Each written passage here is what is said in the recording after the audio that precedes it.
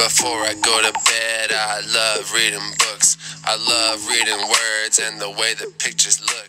Hi, my name is Sebastian. And my name is Alexander. We're the Gemelos Bilingües. We like reading books. And we hope you like reading books too.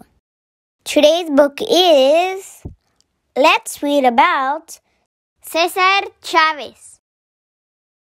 Cesar Estrada Chavez was born on March 31st, 1927. He lived with his family in a small house in Arizona. Cesar's family needed to move to California to find work. This is where Cesar started school. School was hard for Cesar. He spoke Spanish. His teachers spoke English. They had trouble understanding each other.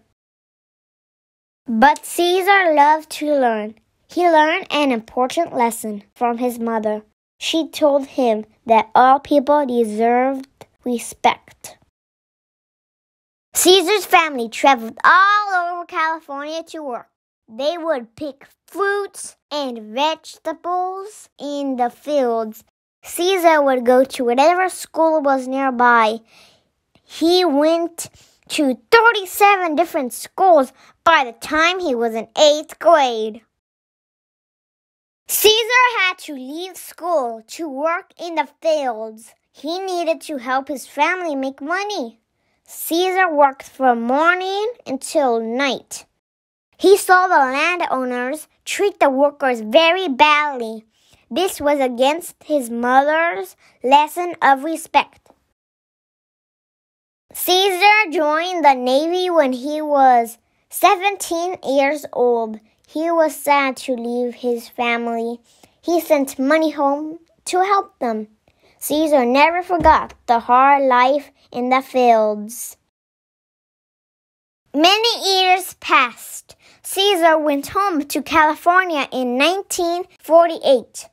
He met a young woman named Helena Fabela.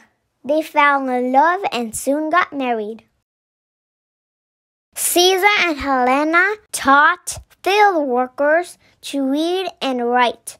They hoped that this would help the workers speak up for their rights. Cesar started a group to help the workers even more. It was called the United Farm Workers. Cesar traveled to many farms. He would talk to the workers about their need to be treated fairly. The group decided to make a flag. It was red and black. It had an eagle on it. It stood for the pride and courage of the workers. The group went on marches and strikes. The landowners ignored Cesar and the workers. They said they would fire the workers if they did not stop marching and striking. The workers became very angry. Cesar decided he needed to do more. He fasted for 25 days. That means he did not eat any food. Cesar did this to make people see he was serious.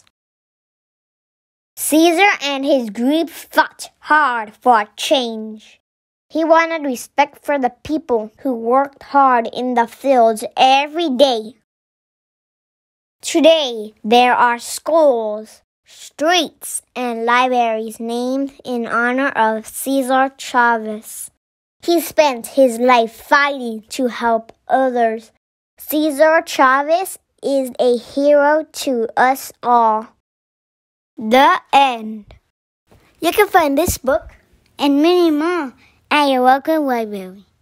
I love to go to libraries, look around and search, and I read so many books that I learned a lot of words. I can tell you stories that you never ever heard, and I love to read about people different than me. And I'm thankful I can read, I'm thankful I can see, and before I go to bed, yeah, love reading books.